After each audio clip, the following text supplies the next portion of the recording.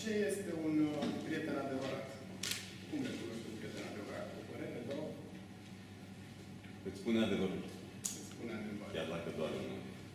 Ok, mi-am făcut temele, am lăsat Google-ul să mă inspire puțin și am descoperit că prieten adevărat e pleonat. Sociologii împart cercuri social în trei categorii. Prima dată sunt asociații, cunoștințele și prieteni. Uh, categoriile respective sunt, uh, sunt împărțite în funcție de intensitatea și calitatea legăturii afective care există în persoanele, între persoanele despre care vorbesc. Deci, practic, asocierea este momentul zero, prietenia este momentul final. Într-o relație de asociere, mai multe persoane se strâng la un loc ca să atingă un scop comun. Scop care poate să fie comercial sau poate să fie un scop de altă natură.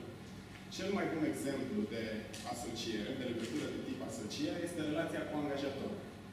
Adică știți că se spune că dacă iubești, îl lași să plece. E bine, angajatorul nu te iubește, dar te lasă să pleci. Nu are niciun fel de problemă, pentru că nu există niciun fel de afect. Așa. Încă un lucru, în privința gratuităților. Și aici este poate și un fel de semnal de alarmă. Adică în momentul în care tu știi pentru ce muncești, care este plata, care este prețul, lucrurile sunt în ordine. Dar consider că numai un prieten poate să facă gesturi și să ofere gratuități în mod dezinteresat.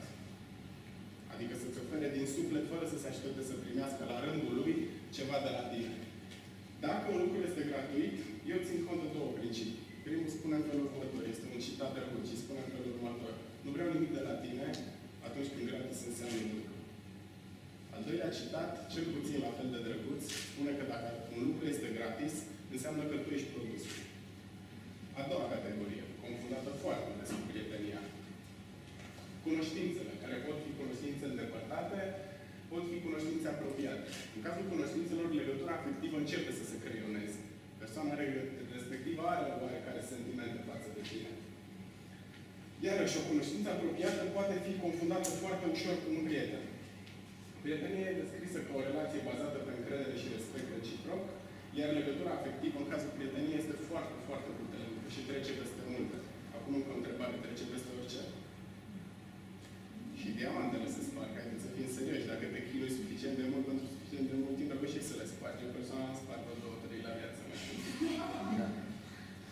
Așa, haideți să vedem cum facem diferențierea între asociați, prieteni și cunoștințe pe timp de pace și pe timp de război. Să presupunem că ai hotărât să te însori. Și îți inviți asociații, cunoștințele și prietenii la nuntă. Asociații și cunoștințele o să vină fie din obligație, fie din interes. Prietenii vor fi alături de tine pentru că vor dori să împărtășească bucuria cu tine. Și în mod sincer sunt alături de tine și vor să se bucură și să bucură pentru bucuria ta.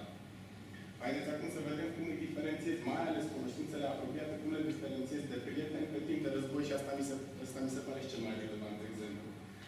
Și când zic război, zic o furtună, adică o perioadă în care pierzi accesul la resurse. Și când zic resurse, nu mă refer numai și neapărat la bani. Haideți să spunem că se întâmplă un eveniment major și ajungi să fii depresiv și plângăcios. Asociații sunt primii care debarasează. În momentul în care îi sun, nu se știe ce se întâmplă. Au multă muncă la birou, au intrat în foarte multe proiecte, cunoștințele, pe de altă parte, vor fi alături de tine. O dată, de două ori, de trei ori, de patru ori, cunoștințele apropiate. Cât e mai apropiată, toate va crește.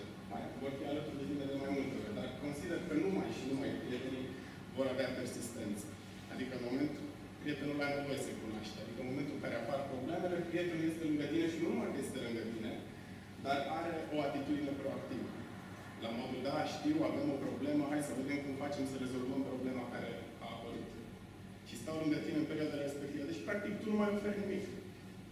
Nu faci decât să consumi energiile, energia și resursele celelalte persoane. El este perfect conștientă de lucrul acesta și cu toate este alături de tine. Și alături de prieteni, într-adevăr, ajungi să depășești furtuni. Ok. Acum că știm ce este un prieten, am învățat cum să-l recunoaștem și să-l diferențiem de un asociat și de o cunoștință, aș vrea să rămânem la sfârșit cu următoarea întrebare. Oare noi suntem prieteni pentru prietenii noștri?